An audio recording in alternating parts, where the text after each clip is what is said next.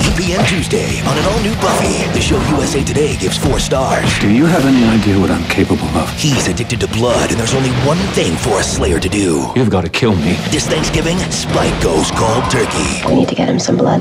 Do you want me to kill Anya? No.